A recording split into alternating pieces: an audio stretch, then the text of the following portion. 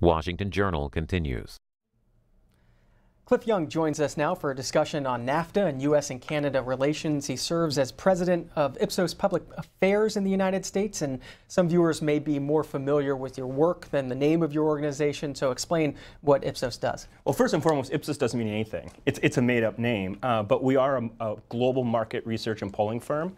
Uh, we have offices in 90 countries around the world, and we cover 130.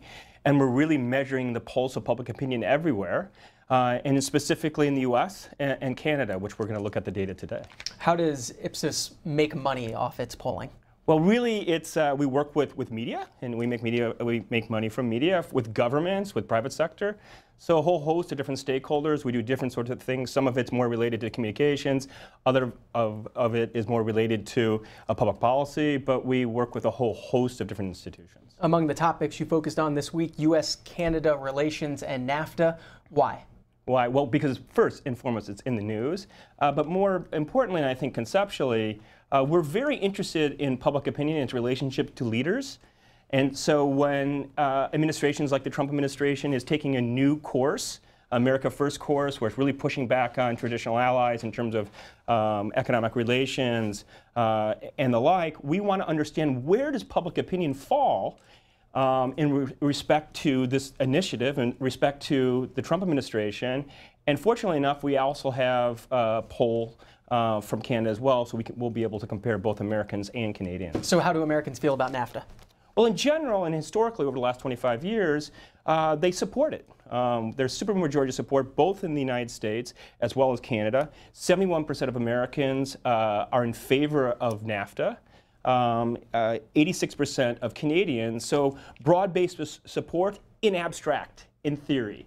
And so you really have to sort of peel away the onion and go down deep. And what you actually find is a little bit weaker support when you ask people about its actual benefits. So only 54% of Canadians believe that NAFTA is benefiting them specifically, and 42% of Americans. So in abstract and theory, NAFTA is great, but we're not seeing the concrete benefits. And there, there's a very interesting story. And, and that story is that 42% um, is highly variable. There's very, very different partisan views. Indeed, 62% of, of Democrats believe that NAFTA benefits them, only 26% of Republicans, and that's changed over time, over the last 25 years. For visual learners, uh, here's uh, the chart showing the breakdown among party lines on whether NAFTA is beneficial. Uh, as you said, 62% of Democrats, 26% of Republicans, 38% uh, of independents saying it's beneficial. Talk about the, the changes over time. The viewers can see the chart here. Why does it seem to be going up among Democrats and uh, why the big dip starting in 2014? Among Republicans. Well, that's great. And, and, and as we understand, historically speaking, Republicans have always been in favor of free trade. And indeed, there was always a majority of Republicans that were in favor of NAFTA. Uh, but over the last few years, uh, even predating the 2016 elections, um, um, um, kind of America First sentiment has really crystallized with the um, Republican base. Um, there's a deep-seated uh, uh, distrust of institutions in general, including NAFTA, and that's what we're seeing. So the outcome of the 2016 election, which produced an outsider candidate, an outsider politician like Trump, uh, a strong kind of America First focus, the, the inversion of the data is exactly that. And, and if we really want to step back and think about it, uh, Trump is just being aligned with his base. Uh, the policies he's pushing, both internally, domestically here in the United States, as well as abroad, are, are policies that align with his base, which is very different than it was 20, 25 years ago. We're talking with Cliff Young, uh, the president of U.S. Public Affairs at Ipsos. If you want to join the conversation as we talk about U.S. Uh, and Canada relations over NAFTA and trade issues, uh, you can do so this morning. Republicans, it's 202 748 8001. Democrats, 202 748 8000. Independents, 202 748 8002. And a special line if you're outside the U.S., say in Canada, and want to join the conversation this morning, 202 748 8003. Cliff Young, as folks are calling in, you also polled on the war of words between yeah. President Trump uh, and Prime Minister Trudeau. Uh, how do Americans and Canadians feel? How do they perceive that exchange, that fairly heated exchange? Very heated exchange indeed. And, and uh, almost unprecedented when you think about relations between Canada and the United States. And there's broad-based understanding that this, this row between the two leaders, uh, Trump and Trudeau, will have lasting, uh, uh, a lasting effect, lasting damage on the relationship. Indeed, 81% of Canadians think that, and 71% of, of Americans. So there's worry on both sides of the border about this conflict. Uh, specifically, the question is, how do they see the relative performance um, of, of their leaders. And so both Canadians, interestingly enough, both Canadians and Americans uh, approve of how Trudeau is actually handling the situation. 72% of Canadians, 57% of Americans. When it comes to Donald Trump, a very, very different view a few of the headlines in this morning's paper about those tensions and brings up uh, those war of words. Here's one from the Wall Street Journal G7 tensions cloud trade outlook, and then another from the Financial Times this morning looking at the Canadian perspective. Trudeau faces loss of goodwill if U.S. puts duties on Canadian cars. Uh, they get into uh, some of the polling as well uh, on Justin Trudeau in the, in the wake of that exchange. What is the value of polling? About people's feeling about a specific news event like that? But what we really are looking for is to see to what extent our governments, politicians, parties align with public opinion. Um, are they are they pushing forward rhetoric and policies um, that meet public opinion where, where, where it is, or are they doing something at variance with it? And why do we say that? Because if you're at variance, if you're not aligned with public opinion, you might get away with things in the short term, but in the long term, you reduce your electability, you have a problem pushing forward your agenda. So the key question here was, can we understand the Trump administration's behavior in respect to public opinion? In other words, are they aligned with it? And the answer is yes and no. No, generally speaking, Americans are, are fearful of the road that's, that's existing right now between Canada and the United States. It's one of our number one allies. We, we share a huge border, et cetera, et cetera. But yes, when you look specifically at the base, when you look at Republicans, Republicans are much more, as we were seeing before, much more America first in orientation, much less likely to support free trade if it's not fair trade. Um, and so he's aligned with his base when it comes to the conflict with Canada and more generally with the large uh, economic players in the world. What's the answer to those same questions when it comes to Justin Trudeau and the, the Canadian population? Well, they're, they're aligned as well. In other words, they're supporting Justin Trudeau. They don't want to be pushed around. Um, and there's broad based support uh, for Ju Justin Trudeau. Trudeau, as I was saying, both on the Canadian side as well as on the American side. Um, 37, uh, excuse me, 72% uh, uh, of Canadians uh, agree with how Justin Trudeau is handling the job, 57% uh, of Americans. But there, once again, in the details is the interesting story. Uh, because when you look more specifically, um, you know, only, only 14% of Canadians agree with how Trump is handling the job uh, in respect to the row, 37% of Americans, but, but, and the qualification is 78% of Republicans agree with how uh, President Trump is handling the job. Again, once again, the answer is yes and no. No, in the sense that overall Americans are worried, but more specifically, yes, because uh, Trump is aligned with his base. You mentioned the details. Here's some of the details about the poll we've been talking about this morning, conducted uh, the June 13th through 14th uh, among 1,005 adults in America, uh, 18 plus. Uh, a parallel study also conducted in Canada among rough, roughly uh, 1,001 Canadian adults. Uh, where can viewers go if they want to see this poll and the results for themselves? They can go to our website. And by the way, I will be posting it um, on Twitter right after our talk. And it's ipsos.com is the Ipsos. website. Ipsos.com.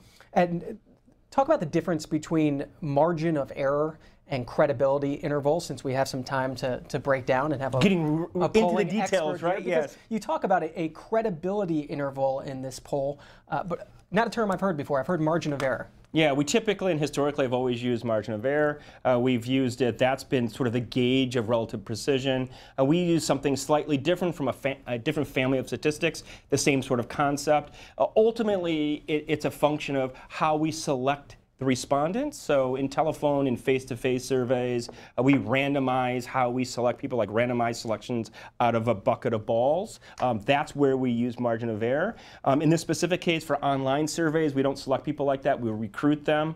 And so it's not technically correct to use a margin of error to talk about precision. Instead, we use we take from another family of statistics. It's and, and it's called the credibility interval. But but um, uh, conceptually speaking, it's the same thing Cliff Young, a self described polling junkie, with us for about the next 20 minutes this morning on the Washington Journal, taking your questions as we talk about specifically this poll on U.S. Canada relations. Dan's up first from Tucson, Arizona. Republican. Dan, go ahead. Uh, yes, uh, thank you very much for taking my call. Um, my problem with uh, uh NAFTA is, you know, supposedly we're supposed to be getting this stuff. It's less expensive. You're not paying these people to make this stuff as much as we do in in in America. But the quality of the material that we're getting. I mean, back in my day, I mean, a dishwasher would last three, four, five, six years. I'm still taking dishwashers out that last forever. And nowadays, you can't get a dishwasher that lasts for a year. And that's what I got to say. Thank you very much for taking my call. Dan, thanks for the, the comments. Cliff Young, anything you want to pick up on that that you saw in your polls? Well, well, generally speaking, Americans, both Americans and Canadians, um, see that, that products and services coming from the two countries in a relative sense is quite high, uh, especially relative to China and other sort of countries. But to Dan's point more specifically, and this is something we found both in this poll as well as polling on this subject over the last 10 years, um, you know, the devil's in the details. In other words, there's broad-based support for NAFTA, but many people question, how has it benefited me and my family and those that I know? And that's a very concrete, specific question. Um, and often people don't have concrete, specific answers to it, and therefore sort of an attenuated uh, support for NAFTA. And again, here's the uh, concrete specific numbers that you found from that poll that you conducted earlier this week. 42% of Americans saying that NAFTA has benefited uh, the United States, 25% saying it's hurt the United States, 15% saying it's had uh, no impact, uh, and about 18% uh, don't know uh, or not responding to, to that question. Morton's in East Brunswick, New Jersey, an independent. Go ahead. Yes, I think part of the problem lies in not so much what President Trump is doing right now, and that's very sad, but I think it goes back historically to what Congress has done. And whether you're a Democrat, a Republican, or independent, I think one of the problems we have politically, which is very, very serious, and I don't know how to resolve this, is we have elected officials in Congress that have been there almost for a lifetime.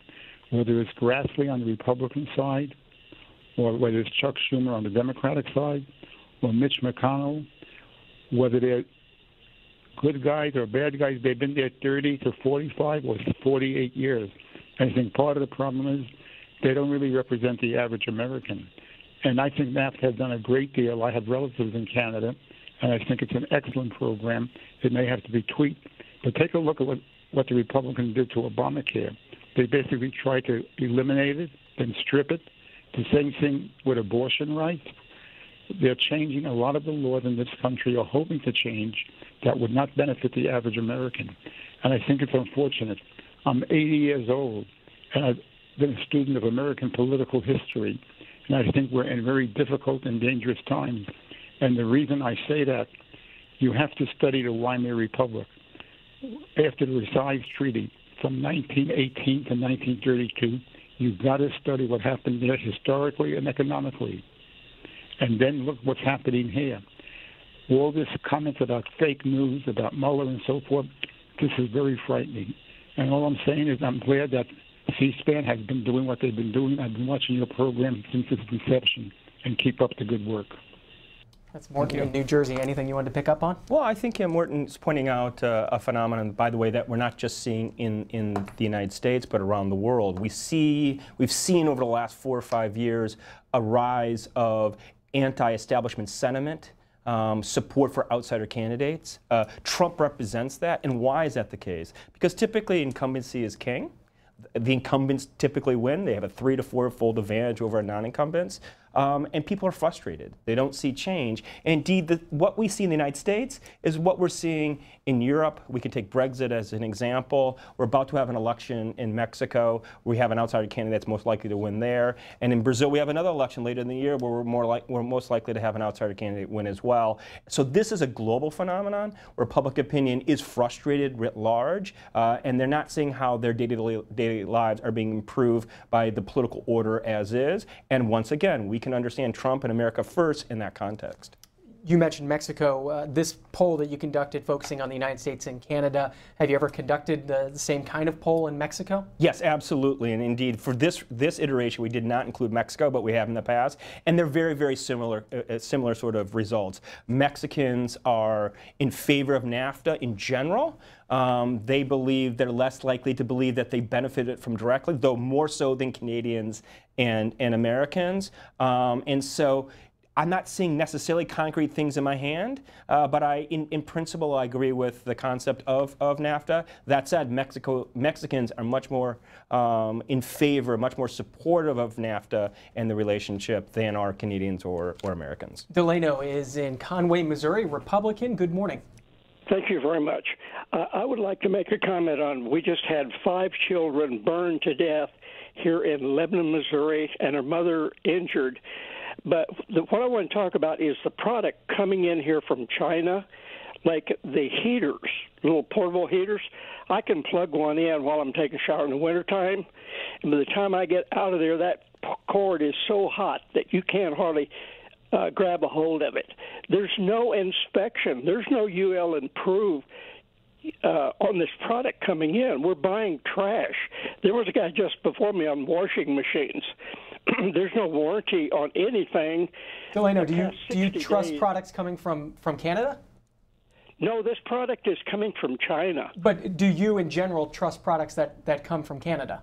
I do. I have a Plymouth that was I didn't know it, but it was made in Plymouth. It's, it's it was made in Canada, and it's like uh, 21 years old. I've never had any problems with it. I don't have any problem with Canadian. The shipping in here from China, I've got two pages of product that is dangerous.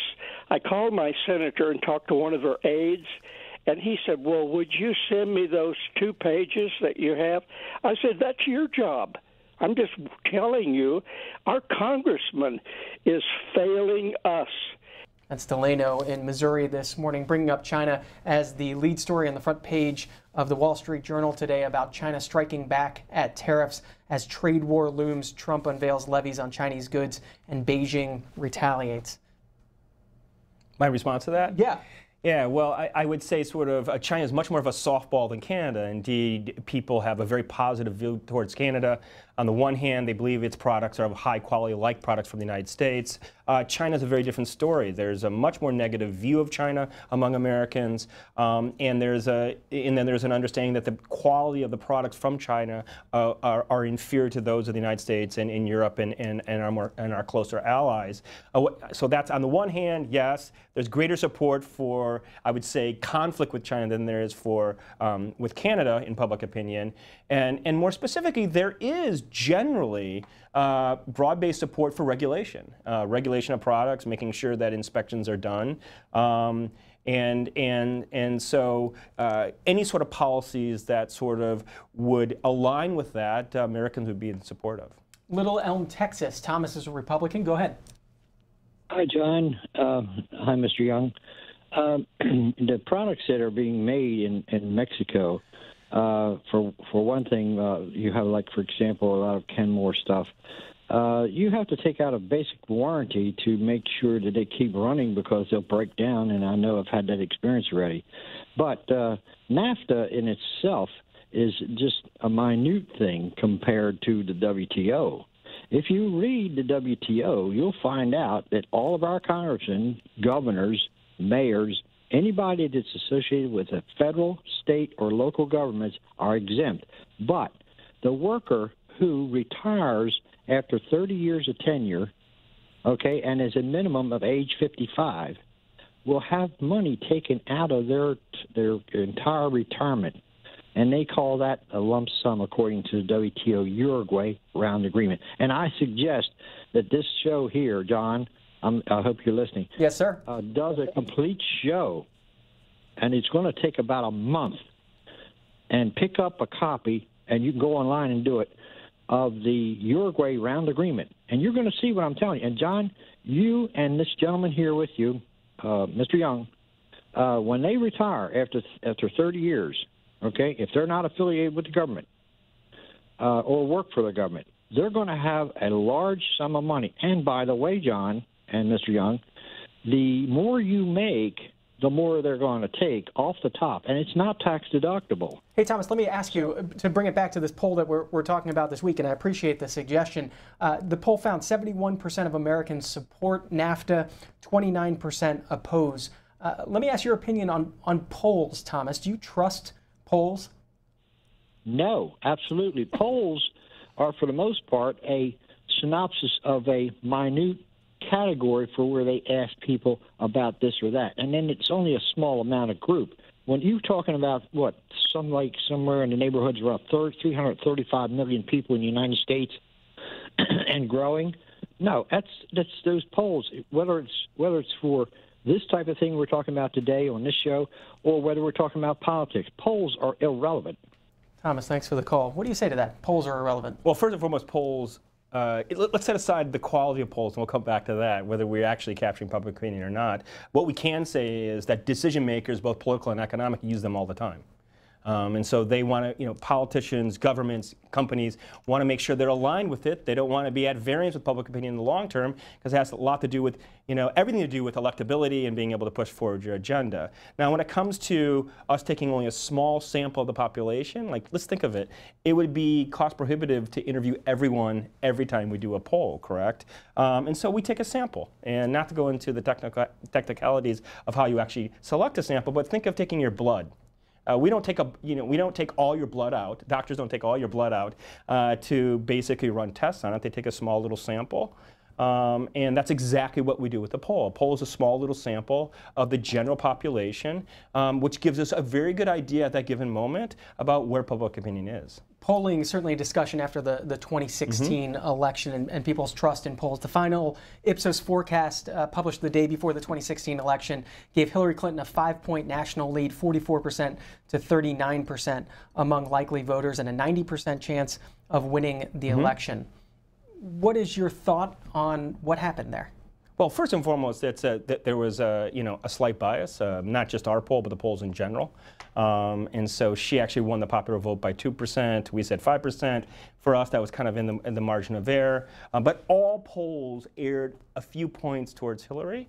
Um, and that, Why? And, and, that, that's a great question. Why? Well, I'd say there's twofold reason. First and foremost, we were using a hammer, not a screwdriver. And so most of our resources are being allocated towards national polls. And we know in the United States uh, that actually only five, six, seven swing states really matter. And that's where we made our errors. And so Ohio was perhaps the biggest one, where the polling firms in general uh, missed. Um, and so first and foremost, we should have been polling much more in the swing states uh, specifically. And the other thing is, and we're, we're, we were talking about the rise of anti-establishment sentiment, um, it's changing politics in general. And so we have a new emergent political group, social, political demographic group, um, you know, white, uh, non-urban um, individuals are beginning to vote more in unison than they had in the past, and all polls underrepresent them um, in 2016. Looking forward, uh, we're ensuring that we are representing them, and if we did in the correct proportions, uh, our poll, like the markets polls, would have been much closer. So you think things will change heading into 2018 and the, the 2020 election? Do you think we're going to have closer polling? I, I, think so. Listen, I mean, if you take the historical average, uh, polls, uh, you know, get the elections and about 85% of the time right.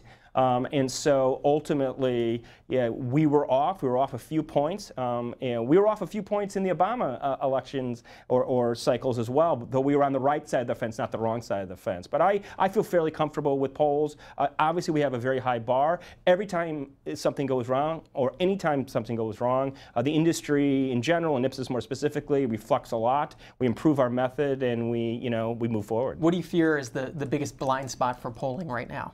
I think it's the same thing. I, I, I think that um, we're in a new political time. It's an age of uncertainty. Um, the political calculus of the past is not the political calculus of today, and we've been alluding to that a bit. The Republicans are very different than they used to be, and those sorts of changes in human behavior make it diff difficult for the method they use to capture and understand human behavior and, and, public opinion. And so we just have to be much, much more um, doubtful and uncertain about our method. Uh, we have to do a better job of triangulating from multiple uh, sources um, but that is our challenge, that politics is changing, and therefore our method has to change as well. Time for just a couple more calls with Cliff Young of Ipsos. It's ipsos.com. You can find Cliff Young on Twitter at Cliff A. Young if you want to follow him. Char, uh, Camille, I'm sorry, is in Pennsylvania. Line for Independents. Good morning.